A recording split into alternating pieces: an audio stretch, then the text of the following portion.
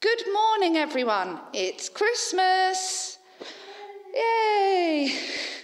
I hope you all have had a lovely morning so far. Uh, who was up before 7 a.m.?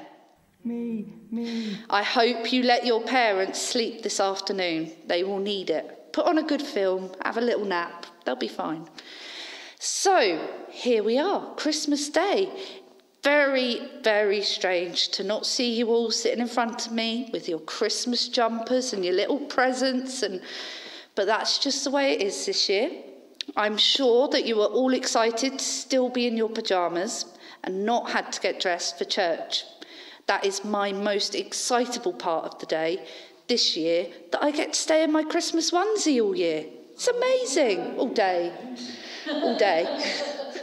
anyway, welcome. This is Christchurch Bushmead. We are celebrating Christmas Day and we are here.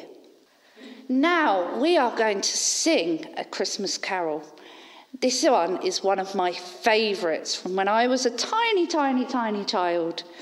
We are going to have some actions. I will be over there magically doing some actions and we are going to sing along. So up you get, off your sofas, off your bean bags, out of bed maybe, and join along.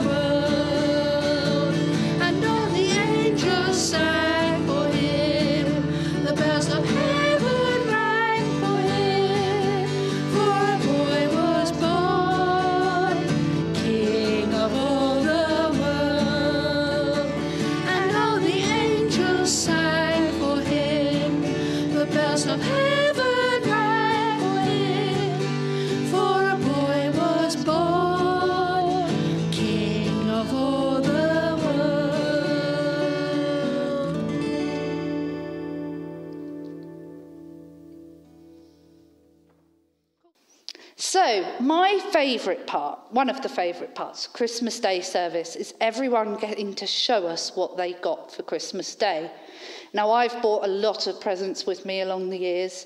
I've had little snow globes. I've had sticky men that once we got stuck to the ceiling. Don't do that in church. No, no. We've had all sorts. We've had talking dinosaurs. We've had cuddly cats. We've had the helicopters, the year of the helicopters, where everyone's radio helicopters were on the same frequency and then they were going mad. It was just a little bit weird. So this year, because you're not all here, how about you put in the comments what you have got? Maybe even record a little video greeting for us of what you have and send it to us at church, and then we can have a look and we can put it all together and we can share that. I don't know the magic, but we'll somehow, somehow weirdly do it. So now I'm going to introduce you to Dean, who is going to do our reading for us, and then the Reverend Tim is going to come and give us a little bit of a Christmas message. So settle down, sit nice and quietly, put your listening ears on, and let's listen to what Tim has to say about the Christmas message. In the beginning was the Word, and the Word was with God, and the Word was God. He was with God in the beginning. Through him all things were made. Without him nothing was made that has been made. In him was life, and that life was the light of all mankind. The light shines in the darkness, and the darkness has not overcome it.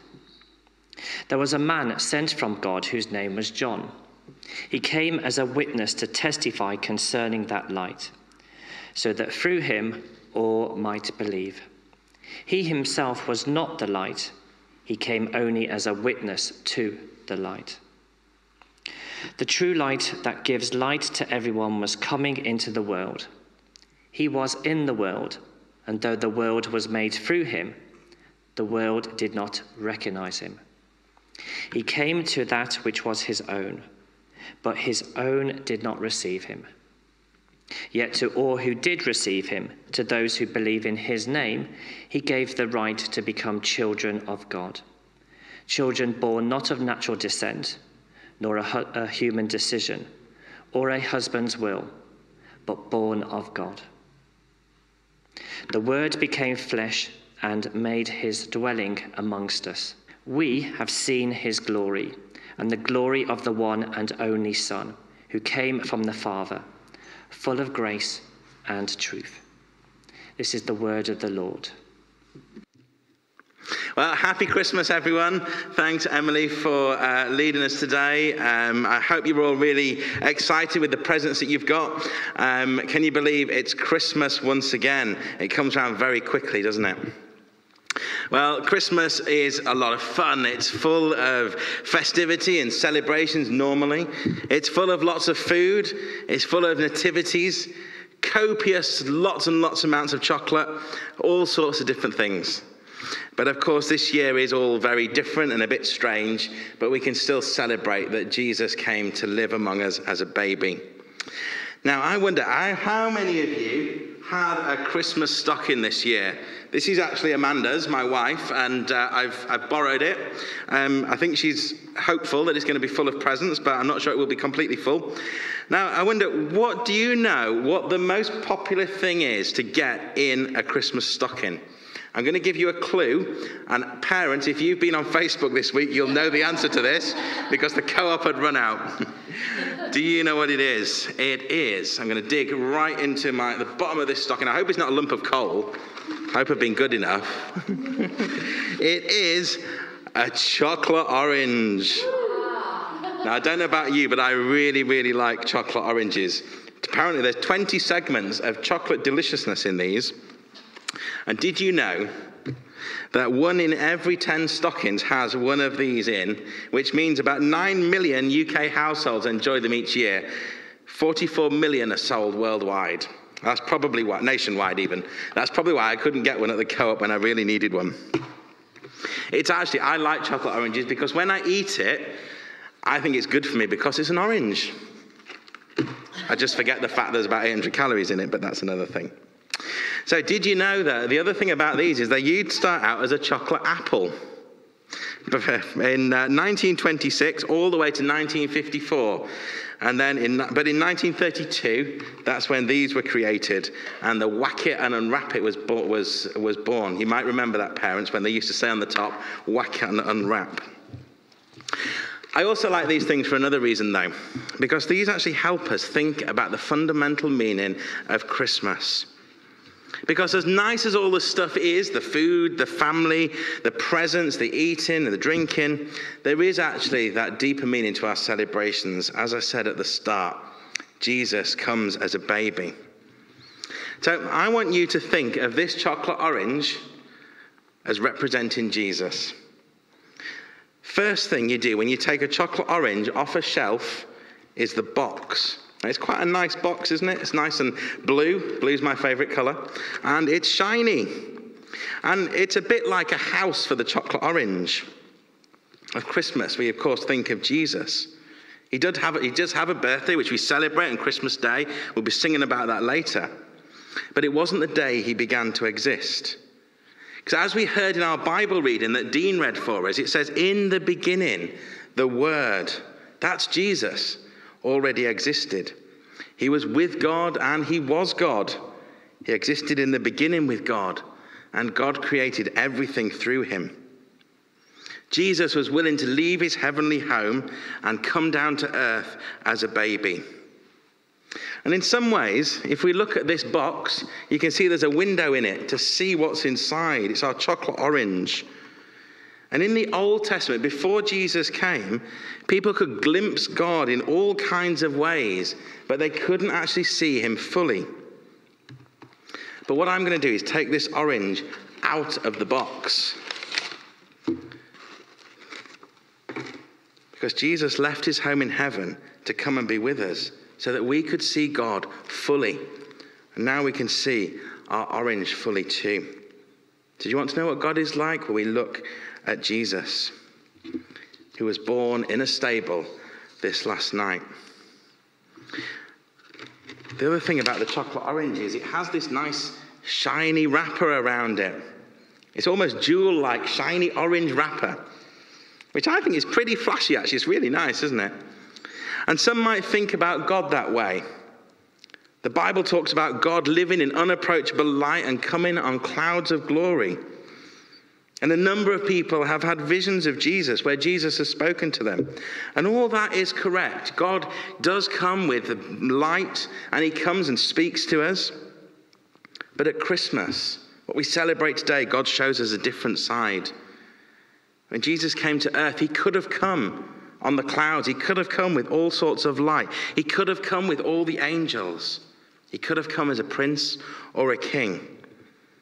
But Jesus takes off all of that splendor and comes in a humble way as a baby born in a stable to unimportant parents in the world's eyes. Jesus was born in obscurity. God chose to be born in a humble way. Christmas is about the incarnation, which is a fancy word, which actually means that Jesus came into the world as a human. He was fully divine and fully human. Seems crazy, doesn't it? That was one of the first sacrifices Jesus made for us when he came to earth and left his heavenly home. What about the world that Jesus came into? When we look around the world or look at our orange, to represent the world, like we do at Christingle, we can see the joy. Do we see joy and contentment and fulfillment? At the moment, we don't. We just see darkness and fear because of this terrible virus. We've all ended up distance from God. We've each dug ourselves a hole. You know, we've got a shovel, we've dug a big hole. Because the Bible talks about sin. And that's what we do when we do things that aren't very nice and perhaps do things to people that we shouldn't do. Perhaps we've said the wrong word, or, you know, we've, we've called them names. The consequence of what the Bible calls sin is that we get cut off from God. We get stuck and we can't get ourselves out. But God knows that and He loves us. Jesus saw that hole that we dug ourselves. And you know what He did? He jumps in to pull us out because He takes the fall for us. We talk a lot about Jesus as the baby, but he grows into a man to take the fall for us at Easter. That's what he does when he dies on the cross. Jesus is broken for us, just as my chocolate orange is probably now broken when I threw it on the floor. But it's through that act that we're able to share with Jesus and to know him. And what I can do now is open my chocolate orange and smell that wonderful chocolate oranginess. And I really want to eat it. Because the consequence of Jesus coming as a baby, dying for us, and of course rising again, is very sweet because it means that we can have a relationship with God. I talk to Him every day. Maybe you do. When we pray, we talk to Jesus we can share in that forgiveness and the freedom that he gave us by dying on the cross. Now, this is a bit mean because normally I would want to share this out with everybody, but there's nobody else around that I can share it with. I would have given you a piece in the building. But, the, but that's the thing, because this chocolate orange is now in lots of different pieces from when I broke it. And that's one of the things. It's the sweetness of God's love that we can now we can share. I can share my chocolate orange. We can share the love of God with others. And we do that in church through so many different ways. We love one another. We pray for one another. We go, we walk with people as they go through difficult times. Jesus came as a baby at Christmas so that we can have a relationship with Him. That's the true meaning of Christmas.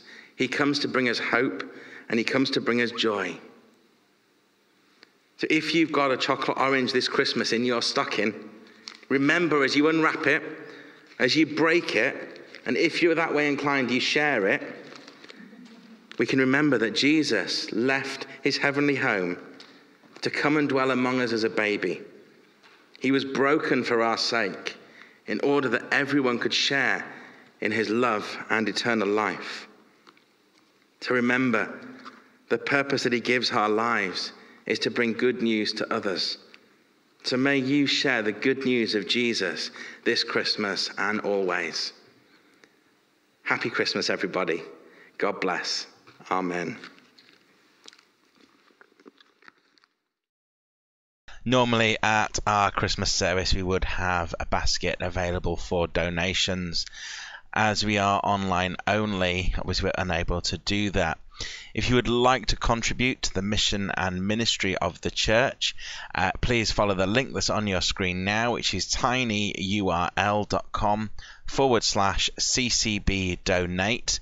That's tinyurl.com forward slash ccb donate or if you've got a mobile device handy, you can scan the QR code and that'll take you through to the page as well. Just thank you in advance for any donations you feel able to make to support the mission and ministry of the church.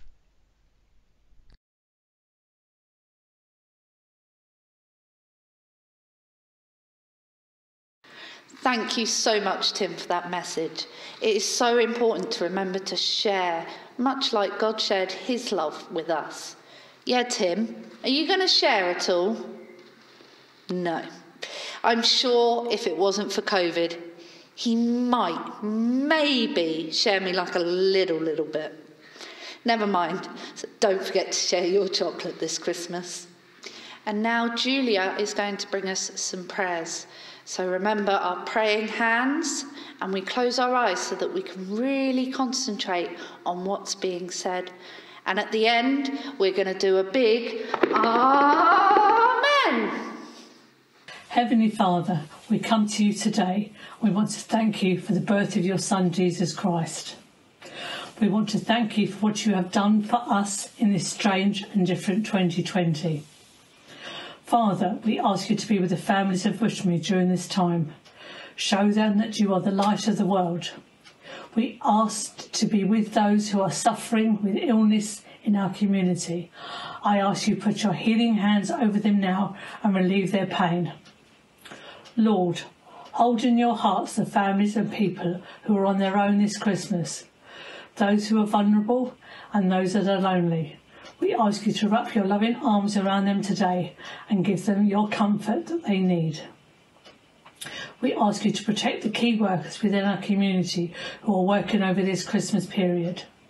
We also want to thank those who have worked tirelessly during these uncertain times as well. We want to thank you for Tim and Amanda for this past year. We want to give thanks for their obedience to you and their, dedica- their dedication to our community. As we reflect on the Christmas story, may we be filled with the wonders of Mary, the obedience of Joseph, the joy of the angels, and the eagerness of the shepherds, the determination of the wise men, and the peace of Christ as we go into the new season and new year. May we ask this in your name. Amen. Amen.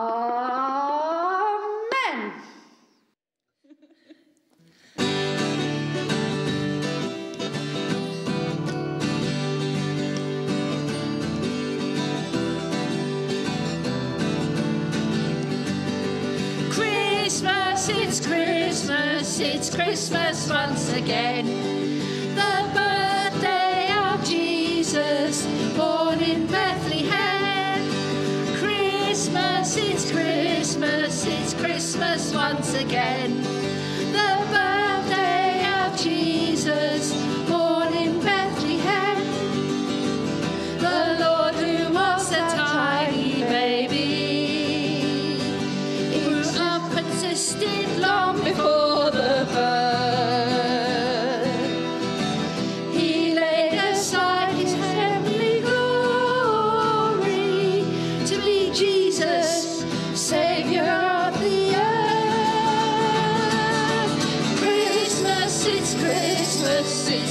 Christmas once again.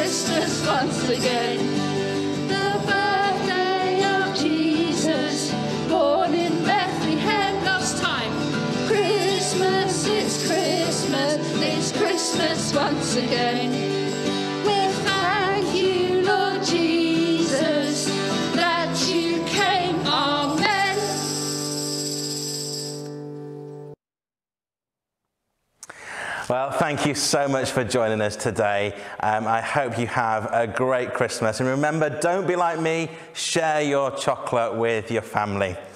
I hope you have a really good day despite the difficult circumstances that we find ourselves in. Thank you for joining us. And I want, just want to thank uh, Emily, uh, Chris, Julia, Dean, and Josh for all of their work in making this service happen. And I want to thank you too for joining us as well. So I'm just going to pray for God's blessing on us as we end.